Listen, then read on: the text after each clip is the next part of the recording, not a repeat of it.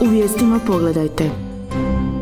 Paljenjem svijeća i prigodnim programom obilježena 440. obljetnica Seljačke bune. Na redovnoj godišnjoj skupštini Hvidre za novog predsjednika izabran Dražen Brezec. Kuglački klub Zaprešić pobjedom protiv Segeta oprostio se od Lige prvaka.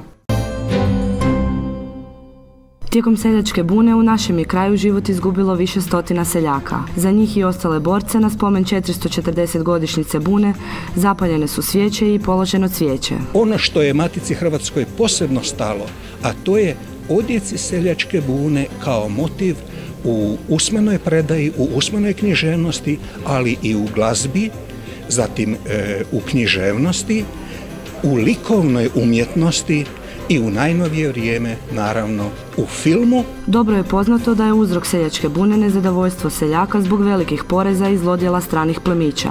Na našem području pobuna je počela šest godina prije izbijanja same bune.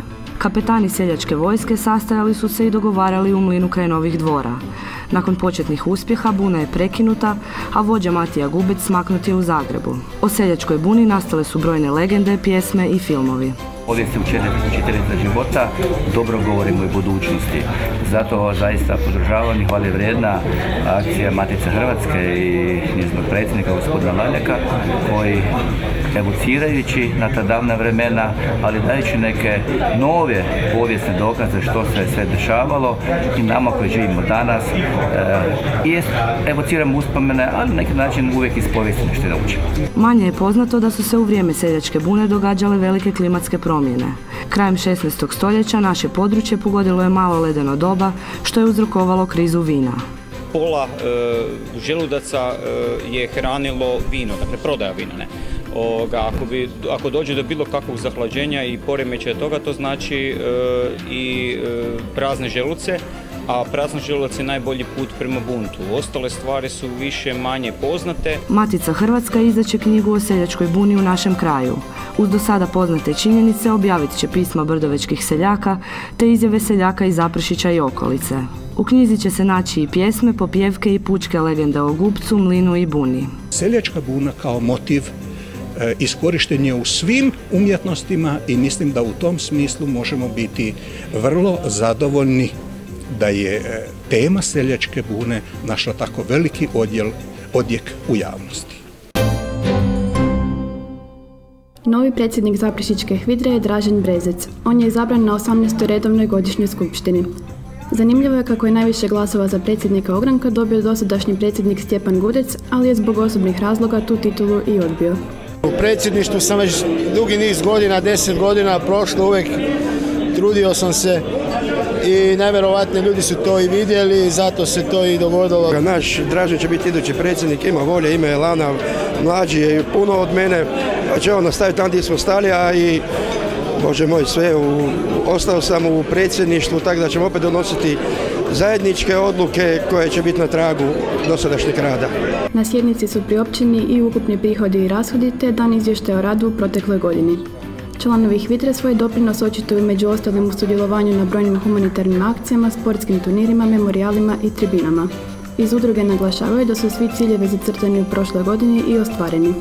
Rađeni su svi programi i planovi koji su bili E, zacrtani, znači od obilježavanja godišnjica, spomendana, e, razno raznih događanja, kako sportskih, tako i kulturnih.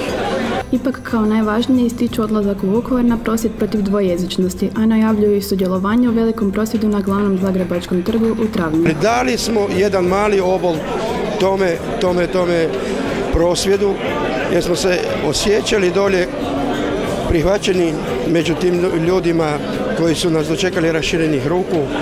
A šta će politika odraditi, to ne možemo, ne možemo znati. Ovaj. Mi možemo samo najaviti veličanstven prosvjedni skup u četvrtom mjesecu na trgu Bana Josipa Jelačića kojemu će prisustvovati ne znam, 100 tisuća ljudi, možda i više. Pobjedom od 6-2 protiv Segeda, Kuglački klub Zaprišić oprostio se od Lige prvaka. Poraz od 7-1 iz prve utakmice četvrt finala bio je ipak pretežak. Naši kuglači u utakmicu su krenuli dobro. Nakon četiri seta rezultat je bio 3-1, tako da je zadnji par odlučivao utakmicu. Mi smo danas odigrali dobro, odigrali smo borbeno, dali smo sve od sebe da se namučimo, ali stvarno ovakve utakmice igračima je izuzetno teško igrati jer svaki set je bio bitan, e, loviti svaki set, znači nije se igralo samo na rezultat nego loviti setove.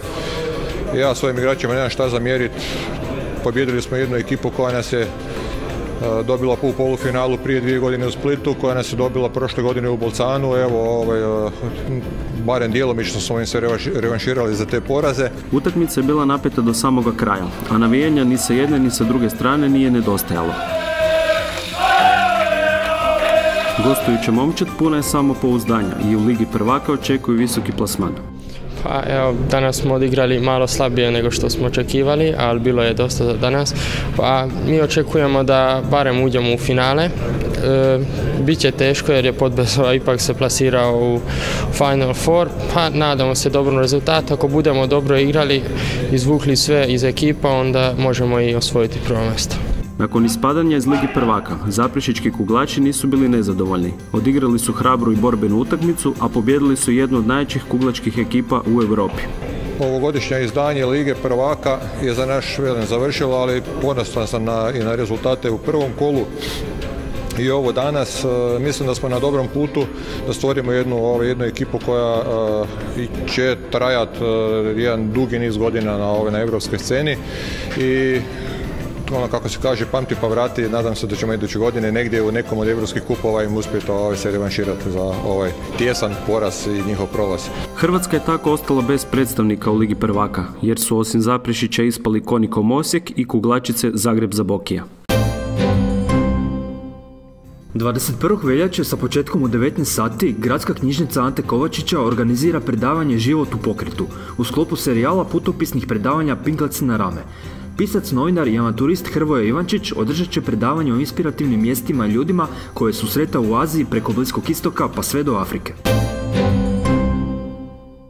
23. veljače u maloj dvorani Pučkog otvorenog učilišta sa početkom u 19 sati Zaprešički glazbeni salon predstavlja koncert Jasne Bilušić i New Deal. 24. veljače u velikoj dvorani Pučkog otvorenog učilišta sa početkom u 20 sati održava se koncert tamburaškog zbora Gaj Zaprešić pod nazivom Zaljubljene tambure.